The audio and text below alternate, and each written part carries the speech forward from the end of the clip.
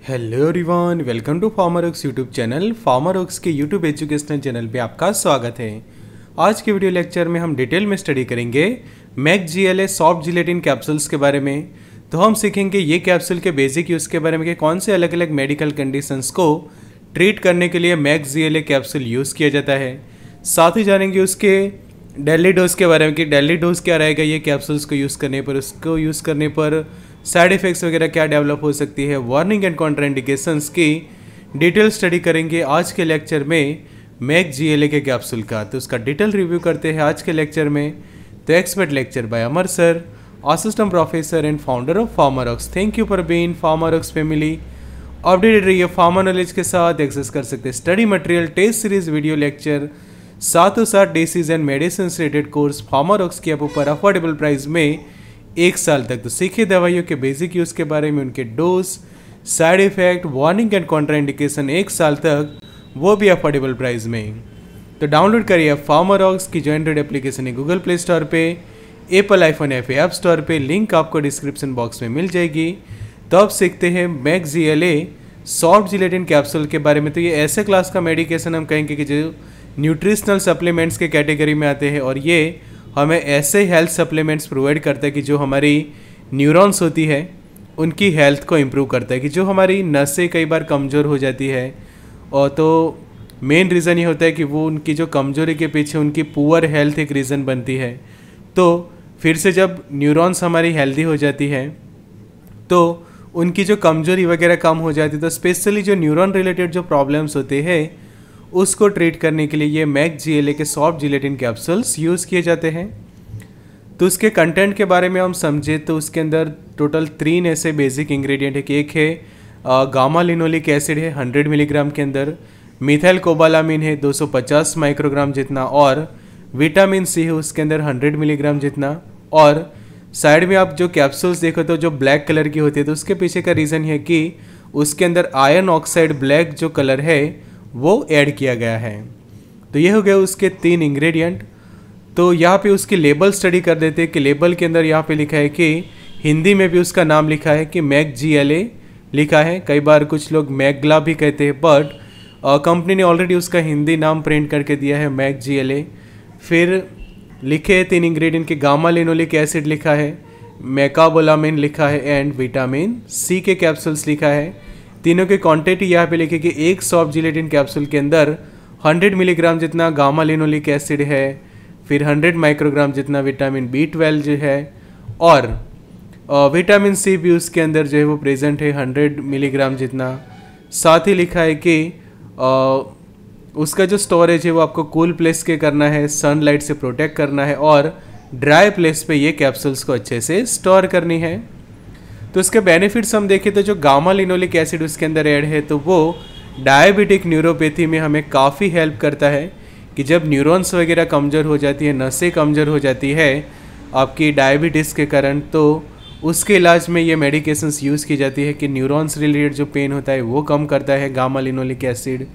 फिर जो vitamin B twelve उसके अंदर ऐड है तो वो क्या करता है? बी ट्वेल्व की डेफिशिएंसी को पूरा करता है और साथ ही साथ न्यूरॉन्स के हेल्दीनेस के लिए भी वो ज़रूरी है। और विटामिन सी की हम बात करें तो वो नेचुरल एंटीऑक्सीडेंट है और ये जो न्यूरोपैथी के जो साइन एंड सिम्टम्स है,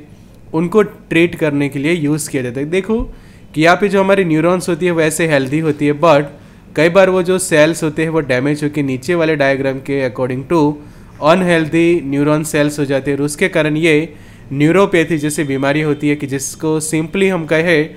तो नसों का कमज़ोर हो जाना उनका वीक हो जाना और वो अच्छे से काम नहीं करती। तो इसी के इलाज में ये कैप्सूल्स जो यूज़ किए जाते हैं, जैसे कि आप देखो तो जो पेन होता है न्यूरोलॉजिकल डिसऑर्डर्स के अंदर, कि जिसको न्यूरोपैथी हम कहते हैं, कि जो न्यूरॉन रिलेटेड प्रॉब्लम है, आपकी वीक हो गई है न्यूरॉन कि जैसे नसों की कमज़ोरी हो जाना डायबिटिक न्यूरोपैथी की जो कंडीशंस हम कहते हैं, या फिर कई बार सीने में भी दर्द होता है उसके कारण पेन इन अ चेस्ट फिर टिश्यू रिपेयर मतलब कि जो हमारी टिश्यूज़ वगैरह होती है, उसको रिपेयर करने के लिए, जब टिश्यू डैमेज हो जाती है तो उसको भी ये ट्रीट करता है। और न्यूरॉन के हेल्दीनेस के लिए सेसल यूज़ किया जाता है। फिर जो नम्बनेस की जो कंडीनेस कई बार हमारी बॉडी के अंदर प्रोड्यूस होती है, जो कमज़ोर नसें होती है तो उनके कारण नसों की कमज़ोरी से एक सिम्टम डेवलप होता है कि जिसको हम मेडिकल टर्म्स के अंदर नमनेस कहते हैं, और हिंदी में देखें तो उसको सुन्नता कहा जाता है। कि कुछ बाघ जो है वो सुन्न हो जाते हैं नमनेस जैसा फील हो करते हैं हम। फिर टिंगलिंग कि झंझनाहट आती है कई बार बॉडी के अंदर तो उसको भी ठीक करता है ये मैक जी कैप्सूल फिर विटामिन सी है तो स्कर्वी में भी ये यूज़फुल साबित होता है,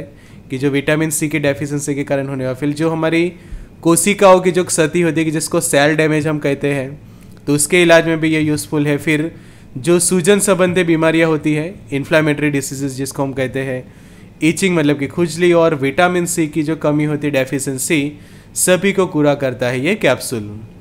उसके साइड इफ़ेक्ट्स हम देखें तो लोअर बैक पेन जैसे कंडीशन कई बार कुछ लोग फील करते हैं, या फिर हॉट एंड रेड स्किन या फिर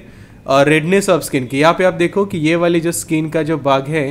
वहाँ पे आपको देखने को मिल रही है रेडनेस तो ऐसे स्किन ऊपर रेडनेस या फिर आगे जाके वहाँ पे रैसेस जैसा डेवलप हो जाएगा, अगर उसको आप काफ़ी हाई डोज में यूज़ करते हैं बिकॉज़ उसका यूजली डोज रहता है कि ओडी रहता है कि एक ही टैबलेट जो है वो आप दिन में यूज़ करते हैं, एक ही कैप्सूल उसके यूज़ करते हैं। फिर गैस्ट्रो इंटेस्टाइनल डिस्कम्फर्ट मतलब कि आपके पाचन तंत्र से जुड़ी कुछ बीमारियाँ हो सकती है, जैसे कि आपको जो है वो डायरिया जैसा फील कर सकते हैं आप, या फिर आप को नोज़िया वॉमिटिंग जैसा हो जाए तो ऐसे कुछ प्रॉब्लम होते हैं। फिर सर दर्द हो सकता है रेसिस हो सकते हैं स्किन के ऊपर, और स्टमक अपसेट की जो हमने अभी बात की कि गैस्ट्रो इंटेस्टाइनल ट्रैक के रिलेटेड डिस्कम्फर्ट फील होना,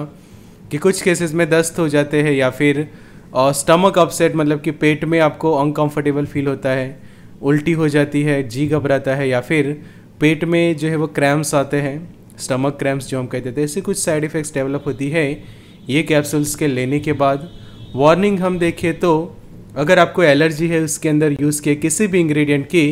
तो ये कैप्सूल को यूज़ ना करें। अगर आपको हाइपर सेंसिटिव रिएक्शंस हो जाती है, किस तरह से स्किन के ऊपर रैसिस हो जाते हैं, या फिर एलर्जिक रिएक्शंस डेवलप हो जाती है तो भी ये कैप्सूल यूज़ ना करें। प्रेगनेंसी एंड ब्रेस्ट फीडिंग के दौरान प्रॉपर प्रिकॉशंस के साथ ही उसको यूज़ करें, और जब भी ये कैप्सूल्स के ट्रीटमेंट चालू है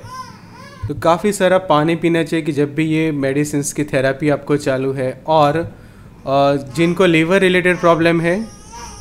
वो लोग भी प्रॉपर सावधानी रखें, ये कैप्सूल्स को लेते समय कि प्रॉपर फिजिशियंस के कंसल्ट करने के बाद ही आप ये मेडिकेशंस यूज़ करेंगे आपको ये सब कॉम्प्लिकेशंस हैं। तो ऐसे ही सीखे दवाइयों के बेसिक यूज़ के बारे में dose side effect warning and contraindication से एक साल तक सरल भाषा में अफोर्डेबल प्राइस में फार्मा रॉक्स के ऊपर तो डाउनलोड कर लीजिए एप्लीकेशन फार्मर ऑक्स की जो एंड्रॉइड एप्लीकेशन है गूगल प्ले स्टोर पे Apple iPhone app app store पे, या फिर nine zero one six three one two zero two zero पे आप व्हाट्सएप कर सकते हैं। तो एंड्रॉइड यूज़र एंड्रॉइड डाउनलोड करें आईफोन यूज़र ऐप स्टोर से लिंक आपको डिस्क्रिप्शन बॉक्स में मिल जाएगी। Good luck and all the best